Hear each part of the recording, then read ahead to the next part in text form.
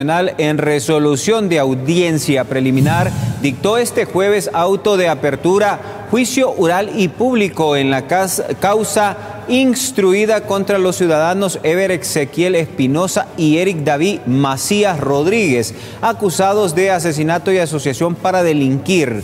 Este proceso es por hechos en perjuicio de Said Omar Lobo Bonilla, hijo del expresidente Porfirio Lobo Sosa.